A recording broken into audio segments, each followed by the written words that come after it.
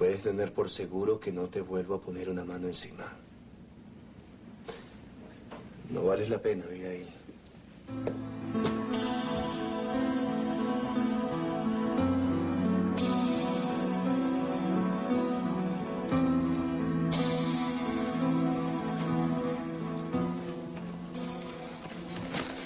Tengo que encontrar ese papel. Ella dijo que lo tenía.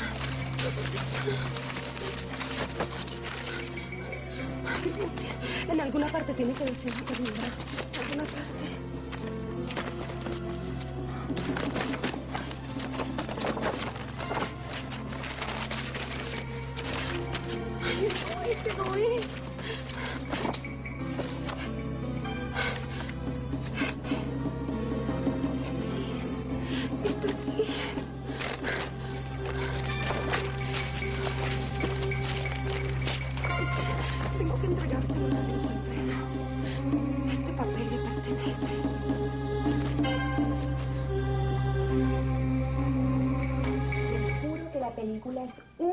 Nota. Vayan a verla.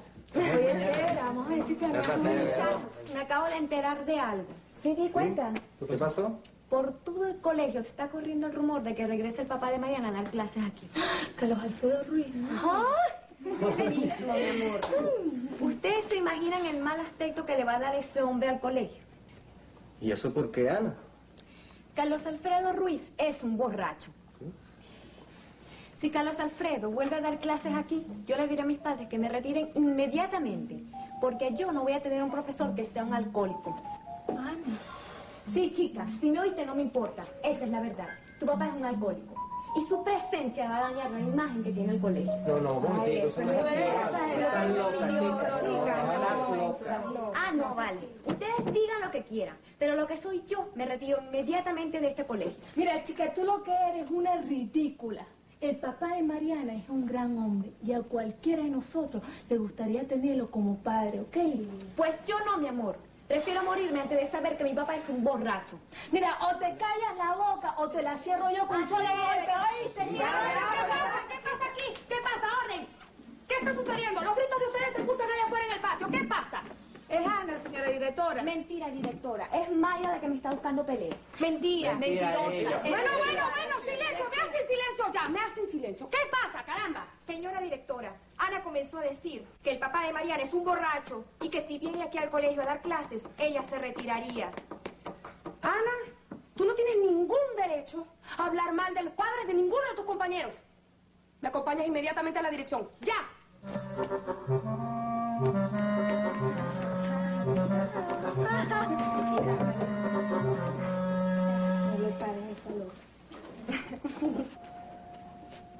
Ay, ¿dónde se habrá metido esta?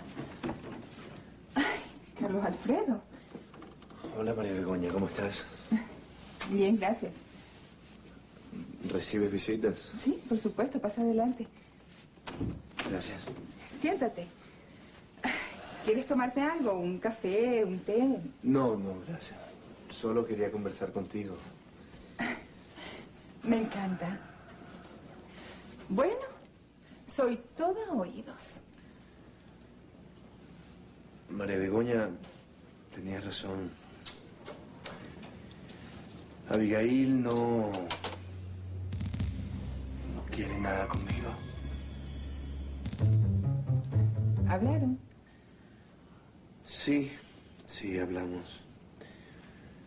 Pero a la final todo se terminó. ¿Sabes una cosa, Carlos Alfredo? A mí me alegra mucho que tú lo hayas comprendido y te hayas dado cuenta por ti mismo. Mira, ella no te merece ni tampoco te conviene. Pero claro, no es lo mismo que yo te lo diga a que tú lo hayas visto con tus propios ojos. Sí, tienes razón. Bueno, ahora yo lo que tengo que hacer es conseguir trabajo. Mi hija está enferma y requiere de un tratamiento muy costoso.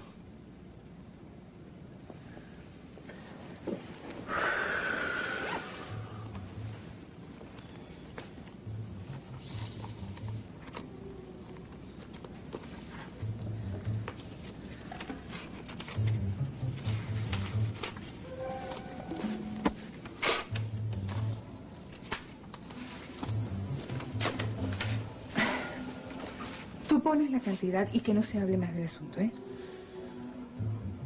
Yo no puedo aceptar eso, María Begoña. Yo no te estoy preguntando nada, Carlos Alfredo. Tómalo, es un préstamo. Anda, no dudes. Yo sé que lo necesitas y yo puedo dártelo, el resto no importa.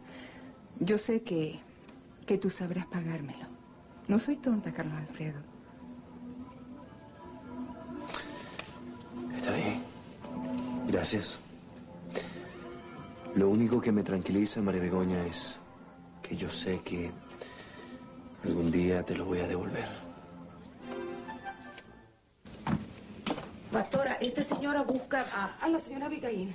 Necesito verla inmediatamente. Mm, Señora, pero Abigail no está. ¿De parte de quién? Bueno, soy Lucía, la hermana de María Clara. Yo necesito verla ya, inmediatamente. Pero es que ella no está en la casa, señora. No, eso no puede ser. ¿No será que ustedes me la están negando? Ay, no, señora, por Dios, no diga usted eso. Es verdad, la señora Abigail salió. ¿Y cuándo regresa? Me- ¿Yo puedo esperarla? Bueno, señora, la verdad es que no sabría decirle, porque ella puede llegar en 10 minutos como en 3, 4 horas. Dios mío, no. No, eso no es posible. Ay, señora, señora, ¿qué le pasa a usted? ¿Por qué se pone así? Señora, ¿qué tiene? ¿Por qué tiene tanta urgencia de hablar con Abigail? Yo necesito entregarle algo. Se trata de un asunto de vida o muerte y, y tengo que entregárselo a ella. Bueno, cálmese, mire, cualquier cosa que usted tenga que entregarle a Abigail la puede dejar conmigo, con Balbina. Nosotros se lo vamos a hacer llegar. Sí, sí, nosotros lo entregamos a ella. No, no. Tiene que ser a ella. En sus propias manos. Me voy.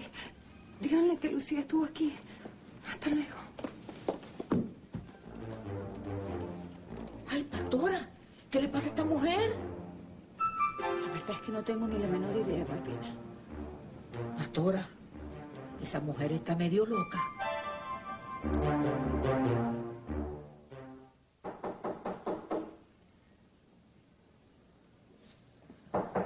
Va, va, va, va. Hola. Bueno, Mira, me dijo Chela que tú querías hablar conmigo. sí. Bueno, bendición, padre. Pase adelante. Dios te bendiga, hijo. Eh, bueno, no sé. Pase a la cocina. Creo que ahí podemos conversar mejor. ¿Cómo no? Padre, ¿no quiere un cafecito? Sí, sí, sí, cómo no. Con gusto. Ya se lo sirvo, ¿ves? Calientico.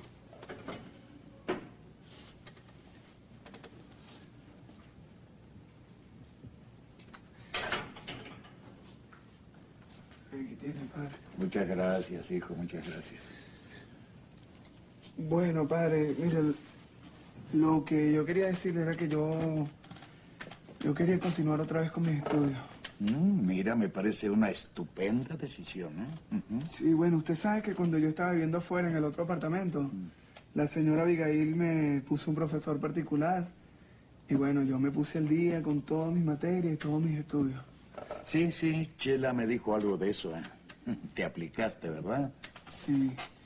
Bueno, la cuestión es que yo quiero entrar en un plantel y, y sacar el bachillerato. Quiero ser un bachiller. Ah, bueno, no, no hay problema. Yo, yo te puedo conseguir un cupo en un liceo público. No. Mire, yo, o sea, sí, sí quiero que me consiga un cupo, pero no en un liceo público. Yo quería pedirle a usted el favor que me consiguiera el cupo en el, en el Colegio San Lázaro. Caramba, ese es un colegio privado y las mensualidades son muy altas. No, ¿sabes? pero no importa, mire, yo, yo estudio en la mañana y trabajo en la noche y así, bueno, puedo pagarlo, pues. Pero, pero ¿por qué tanto empeño ahí? Porque